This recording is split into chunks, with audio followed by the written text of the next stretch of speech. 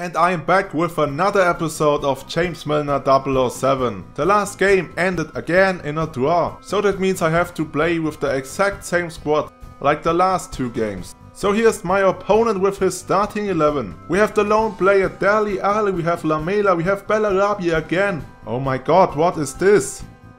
What is this? Ref! Is this... Oh, it's a penalty.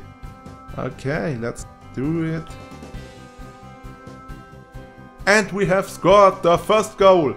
James Milner after a penalty. Vaughan. Vaughan with the shoot. And the second goal. That's great.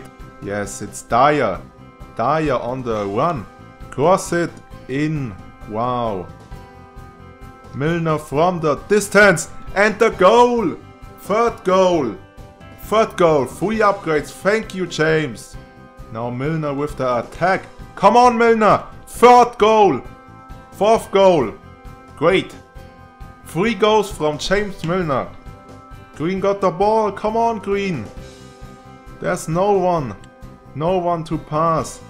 McManaman now! Fifth goal! Fifth goal and the first goal from McManaman. What a great game! We won 5-0 that means 3 upgrades in the next episode. And that's all for today's episode. So thanks for watching guys. Have a wonderful day and see you.